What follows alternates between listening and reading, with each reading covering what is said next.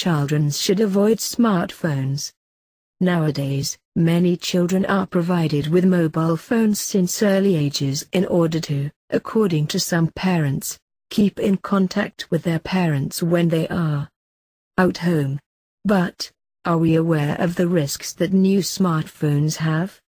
As I see it, new technologies and children should be controlled by adults as far as is possible. My main reason to think this is a psychological reason. Young children are not able to understand the risks and problems that smartphones can produce. Children want to be as their classmates, to be in fashion. Managing a smartphone with its characteristics is a difficult task which requires maturity. Another reason is Internet and its wide world connection. It is a well-known fact that loading photos to Internet means lose your privacy. When a picture is loading in known social networks as Facebook, it is impossible to know where the picture ends up. Some people argue that children today need to carry mobile phones so their parents will be able to locate them at any time. Moreover, they say that having a rechargeable card is a good way to control the spent money by children. I can be agree with that, children today go out more than us in the past, and it is a good way to know where they are. To sum up, I strongly believe that we should teach our children about the new technology's risks. From schools and homes we have to talk with them about it. New technologies emerge to improve our life quality, from the knowledge they can fulfill their designated purpose. Technology has done a lot to make our lives easier and more efficient. Yet as a parent, you ought to be concerned about the impact that devices such as smartphones can have on your child.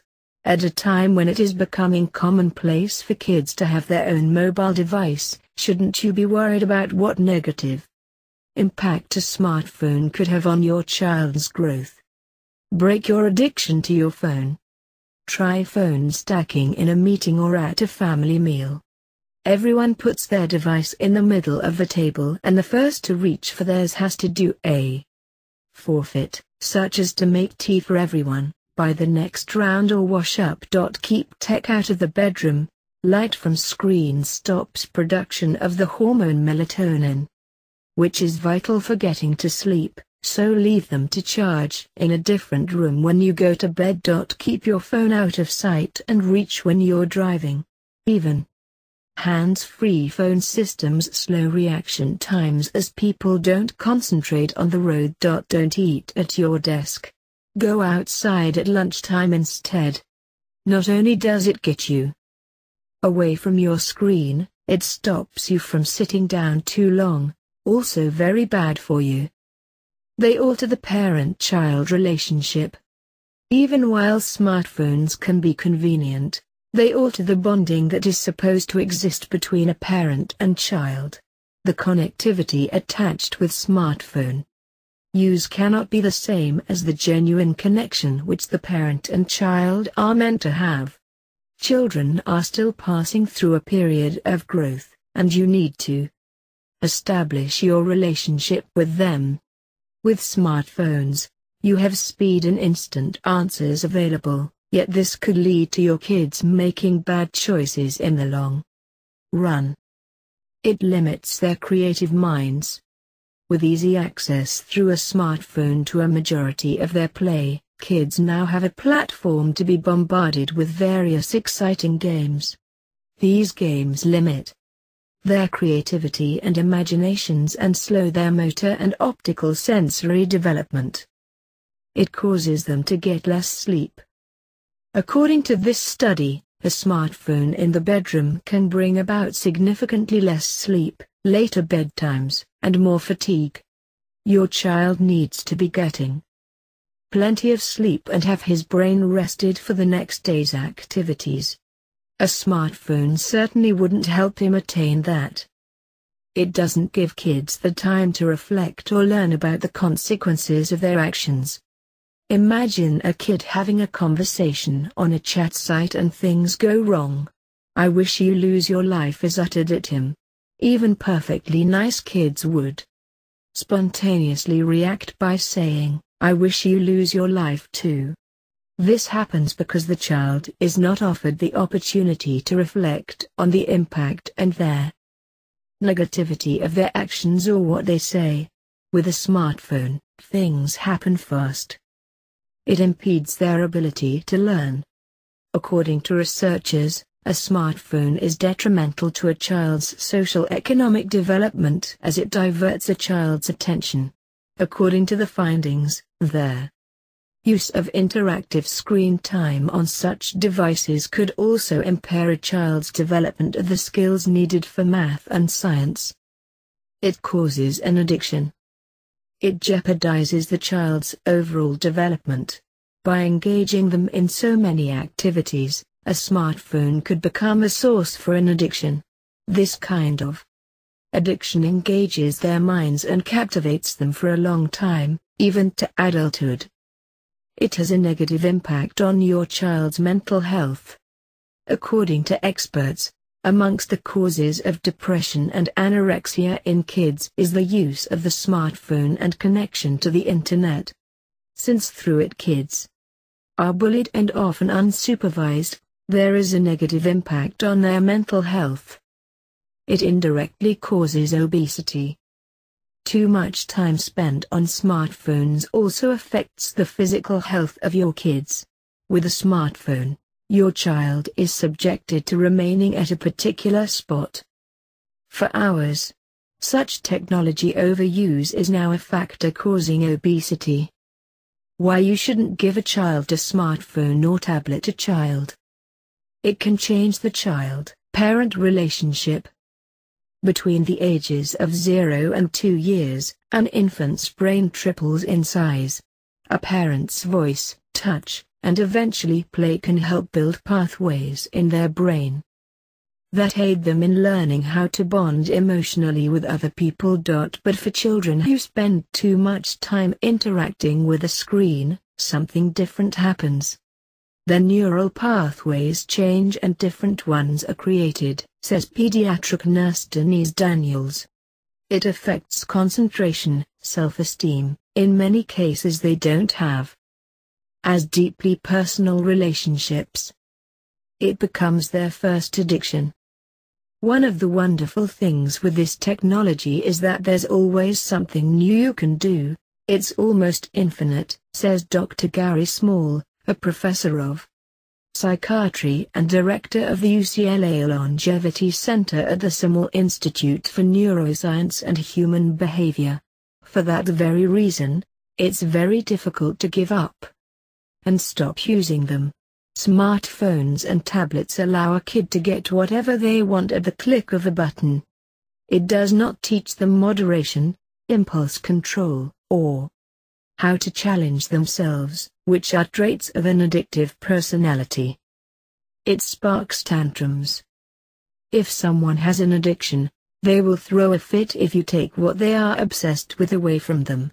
At any age. However, giving a kid a smartphone or tablet to pacify them when they are having a tantrum isn't a great idea, either. If these devices become the predominant method to calm and distract young children, will they be able to develop their own internal mechanisms of self-regulation? It prevents them from sleeping. It's no secret that curling up with your smartphone, tablet, or e-reader before you go to bed at night makes it more difficult to fall asleep. The light that emits from a screen suppresses the sleep hormone melatonin, and shifts the body's natural sleep-wake cycle. It seems that use of these devices in the evening before bedtime really has this negative impact on our sleep and on your circadian rhythms, said Anne-Marie Chang, a neuroscientist. It is estimated that 60% of parents do not supervise their child's technology usage. 75% of children are allowed technology in their bedrooms. Because of this, 75% of children aged 9 and 10 years are sleep deprived to the extent that their grades go down, according to Boston College. it affects their ability to learn. According to researchers, a smartphone is harmful to a child's ability to learn because it distracts their attention. These devices also may replace their hands-on activities important for the development of sensory motor and visual motor skills, which are important for the learning and application of math and science. Adds Jenny Radesky, MD, clinical instructor in developmental behavioral pediatrics at Boston University. Video and online games also limit kids' budding creativity and imaginations and slow their motor and optical sensory development. It doesn't allow them to reflect on their actions. It's easy to say something bad about someone behind their back, but it's certainly not so easy to say it to someone's face. You can see their hurt facial expression and feel their pain, forcing you to reflect and feel remorse. But if you say it online, all of that goes out the window. You can't see things like voice, inflection, body language, facial expression, and even feel pheromones. These are all fundamental to establishing human relationships. And they're all missing with most forms of modern technology, says psychologist Jim Taylor. Kids are spending so much time communicating through technology that they're not developing basic communication skills that humans have used since forever. Communication is not just about words. It increases the likelihood of mental illness. Because it's easier to be emotionally detached when online, more people are cyberbullied. There are also tons of images and forums online that can make a developing child or teen feel uneasy about their growing body. According to experts, too much time on smartphones or tablets has been a factor in rising rates of child depression, anxiety, attachment disorder, attention deficit disorder, psychosis, and problematic child behavior. It can lead to obesity. We are often stationary when we use a device, so if a child is addicted to one, they are not moving while they use it. That means limited physical activity, which increases the likelihood of weight gain. Children who are allowed a device in their bedrooms have 30% increased incidence of obesity, according to one study. When a child becomes obese, there are a lot other concerns that pop up as well. 30% of children with obesity will develop diabetes, and obese individuals are at higher risk for early stroke and heart attack. Some experts even believe that 21st century children may be the first generation that will not outlive their parents due to obesity and high use of tech devices. It makes them aggressive, because kids can't learn empathy when overusing devices, they are much more comfortable being mean online, and being cyberbullied almost feels normal to a lot of kids. There is also a huge variety of violent video games that might desensitize kids towards violence. This mainstreaming of aggression prompts kids to think that violent behavior is simply a normal way to deal with and solve problems. It encourages social anxiety. Learning social skills is imperative to a child's overall success. If they are nervous interacting with other people, it may hamper their ability to be the best that they can be. Technology should make communication easier when it's appropriate. Dr. Kate Roberts, a Boston-based school psychologist says. But when we have access, we don't use it. Part of it is just that it's human nature to avoid. It's easier. Although a child may be resistant, it's good to challenge them. Have them put down the phone and interact with their family and other kids their age so that they can recognize facial expressions and body language, learn empathy, and feel more at ease around people when they are adults. Kids need that face to face time, Denise Daniels says. If you abbreviate your emotions with technology, you're living in abbreviated life. Bad effects of tablets and smartphones. During the child's first years, his brain develops rapidly, and very young children learn best by interacting with people, not screens.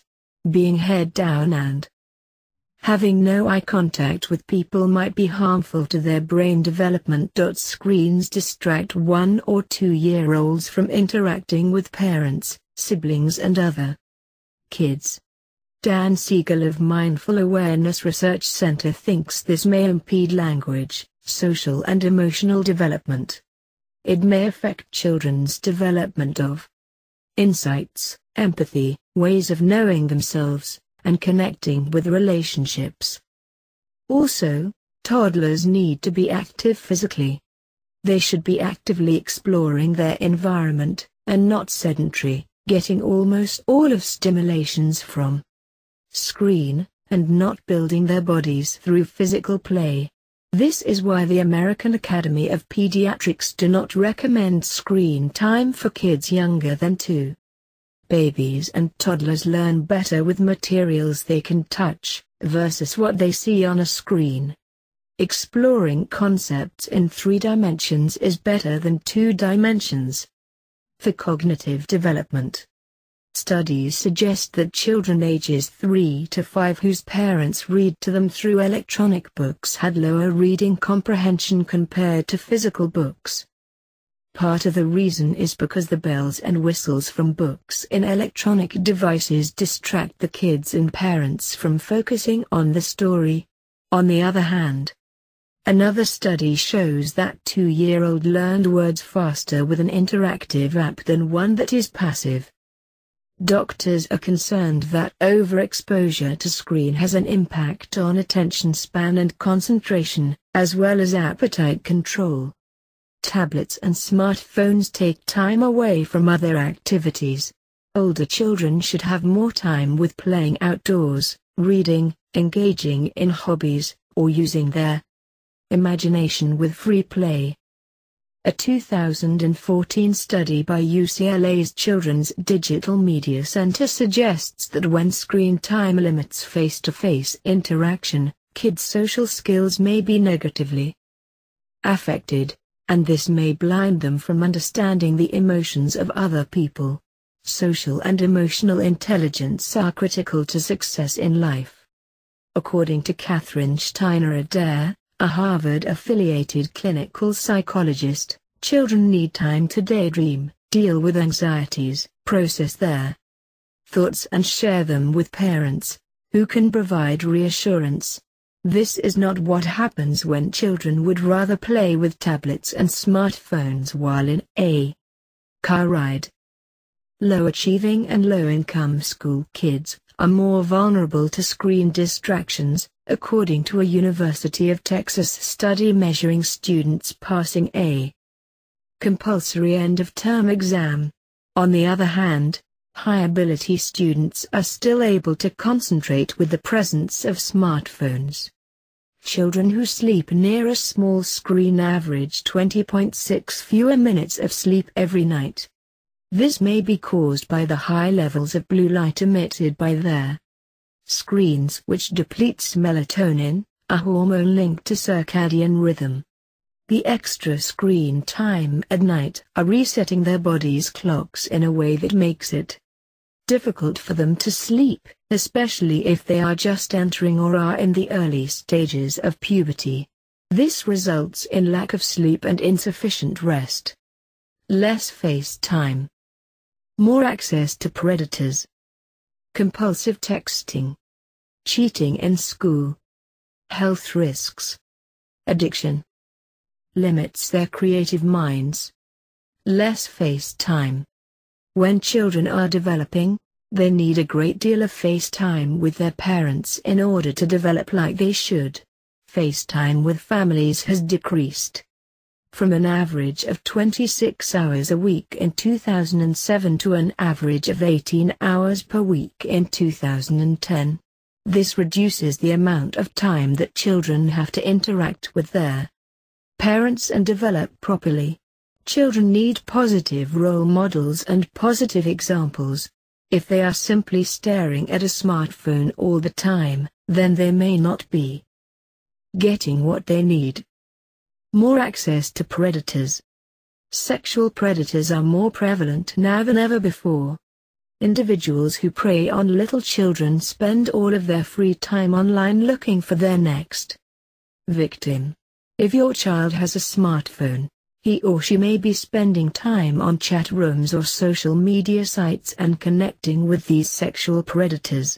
They may think that they are talking to another child or someone they can trust. If they set up a meeting with this person outside of your supervision, it could be a huge problem. Compulsive texting. One of the big problems that could develop from having a smartphone is compulsive texting. Many children who have smartphones learn that they can text message their friends and then they want to do nothing else. They always want to read their latest text messages and respond to them right away. If you don't let them get their hands on a smartphone, then they won't develop this addiction at an early age. Cheating in school. Another issue that many parents have to deal with when they give their child a smartphone is cheating in school. When a child has a device that allows them to easily communicate with others, they can use it to get the answers to a test. For instance, they can quickly text message one of their friends outside of class so that they can look up an answer for them. This can lead to suspension detention, or even expulsion from school. If the smartphone was not present in this situation, then that issue would have never come up. Health risks. Since cell phones are still kind of new in society, the health risks of them are not fully known yet. A number of studies have led to some questions about how healthy it is for a child to be talking on a cell phone regularly. The cell phone lets off a certain amount of radiation and can cause tumors or other growths inside the body.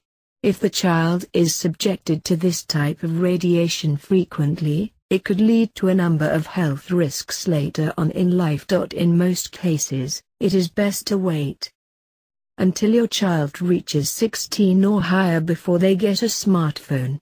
Use your best judgment but giving them one too early can lead to issues. The hardest part of parenting is teaching our children things we have not yet mastered. Jesus said I am the bread that gives life. If you come to my table and eat, you will never go hungry. Believe in me, and you will never go thirsty. The only healthy addiction we are hardwired to foster is our relationship with God. Through our walk with Christ, I am, present tense, is all we need. Yet a glance around a full room full of people looking down at a screen instead of each other illustrates the search for happiness elsewhere.